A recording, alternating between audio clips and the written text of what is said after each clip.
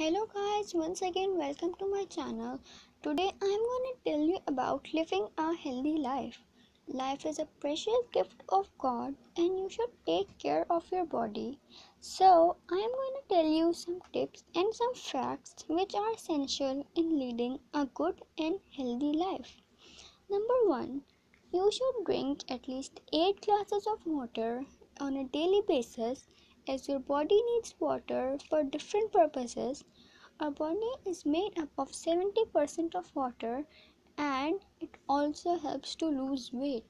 Number 2, you should get enough sleep, get enough rest and not stay awake late night.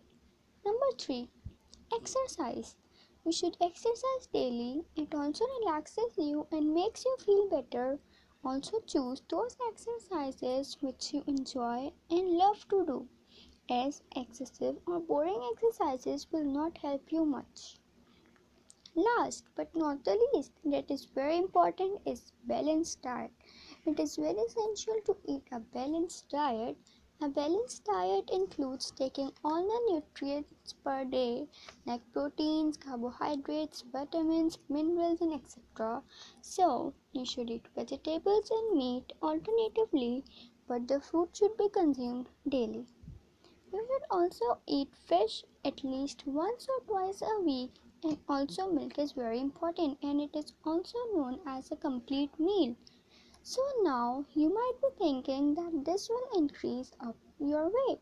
But no, if you take these in certain proportions according to your BMI, you will never be overweight nor underweight.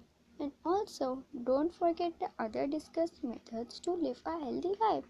So, that was all for today. If you like this video, don't forget to like, share, comment, and subscribe to my channel. Thank you.